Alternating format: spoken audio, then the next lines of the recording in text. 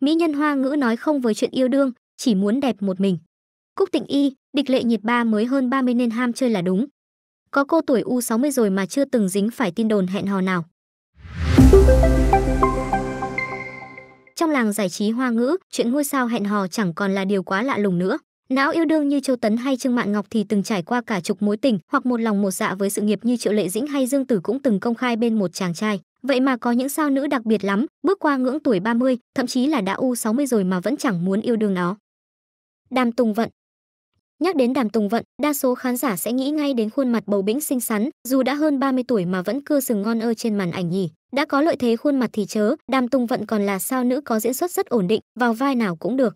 Bởi thế mà hầu hết các bộ phim do cô đóng chính đều thu hút được sự chú ý đặc biệt của công chúng, đạt được thành tích rating rất khả quan.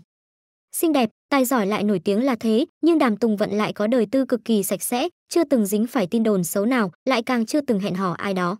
Tính đến nay, Đàm Tùng Vận cũng đã 34 tuổi rồi, vậy mà cô vẫn chẳng có chút ý định gì liên quan đến chuyện hôn nhân đại sự cả, cứ mải miết đóng từ phim này đến phim khác. Cúc Tịnh Y Đầu năm 2024, bộ phim Hoa gian lệnh lên sóng đã chứng minh được sức hút mạnh mẽ của Cúc Tịnh Y trong dòng phim chiếu mạng. Dù chỉ là bộ phim được đầu tư bình thường, vậy mà thành tích của phim còn ăn đứt cả bom tấn hồ yêu tiểu hồng nương của Dương Mịch đó. Dù chẳng ưa kiểu chấp niệm với hình tượng mỹ nhân 4000 năm có một của Cúc Tịnh Y, nhưng ai nấy cũng phải thừa nhận là cô nàng chưa từng khiến người hâm mộ phải thất vọng. Điều khiến fan Cúc Tịnh Y hài lòng nhất chính là tâm sự nghiệp của người đẹp này rất vững vàng. Tính đến hiện tại, Cúc Tịnh Y đã có hơn chục năm hoạt động trong nghề rồi, đừng nói là hẹn hò, đến xào couple cũng chẳng có nữa.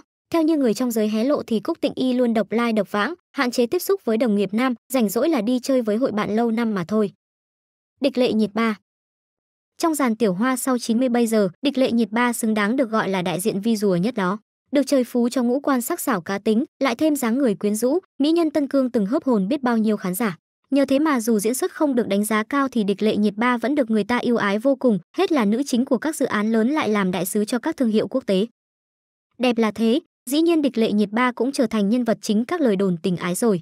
Tuy nhiên, tin đồn vẫn cứ mãi là tin đồn, bởi cánh paparazzi đã chứng minh rằng người đẹp này vẫn đang ở tuổi ham chơi và ham ăn.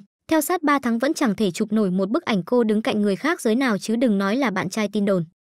Du Phi Hồng Cách đây hơn 20 năm, Du Phi Hồng là một trong những mỹ nhân cổ trang đình đám nhất của hoa ngữ đó. Với vẻ đẹp dịu dàng đoan trang mang thêm nét cổ điển, cô từng được yêu ái vào những vai tuyệt sắc giai nhân như Dương Diễm trong tiểu lý phi đao mộ dung thu địch của tam thiếu gia cao ngọc hàn của vó ngựa tây phong.